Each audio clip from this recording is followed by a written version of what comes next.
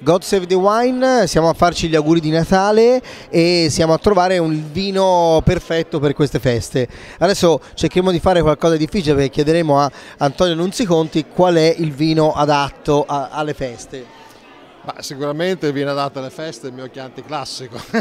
ecco, però, come dire, in feste dove si beve un sacco di. dove si mangia cotechino, lenticchie, il tuo accento ti tradisce un eh, po'. Sì, io sono, sono di origine emiliana, sono di origine bolognese da noi si usa ovviamente durante il pranzo di Natale il tortellino con il bollito e lo zampone e diciamo che secondo me questo Chianti classico con il bollito e con lo zampone si adatta piuttosto bene. Tu vieni dalla zona di, di, di San Casciano, no? La zona... Casciano, precisamente la zona vicino alla Pieve di Campoli, quindi eh, vicino alla zona del Tignanello, di, di Santa Cristina degli Antinori e quindi quella zona lì.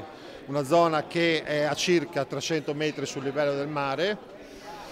E il pedigree è molto alto, no? E quindi che tipo di vini ci dobbiamo aspettare? Sì, è, alto, è, molto alto ma poco conosciuto come Chianti classico perché praticamente vicino a me, a parte gli Antinori, non ci sono di fatto altri produttori vinificatori, sono realtà molto molto piccole e quindi ehm, è forse un Chianti classico anche poco, poco conosciuto come territorio, però molto famoso in passato per avere vini molto morbidi e molto bevibili.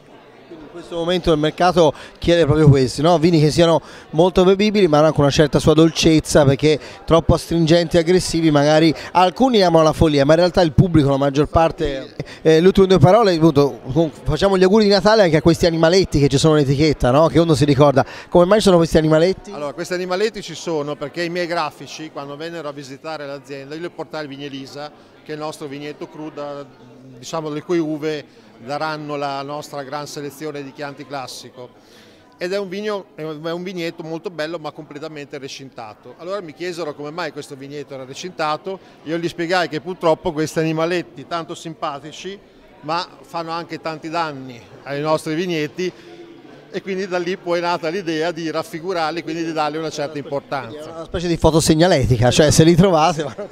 Perfetto, allora auguri per queste feste sia in Toscana che dalle tue parti, a Bologna, comunque Chianti Classico. Altrettanto a tutti voi, grazie mille, arrivederci.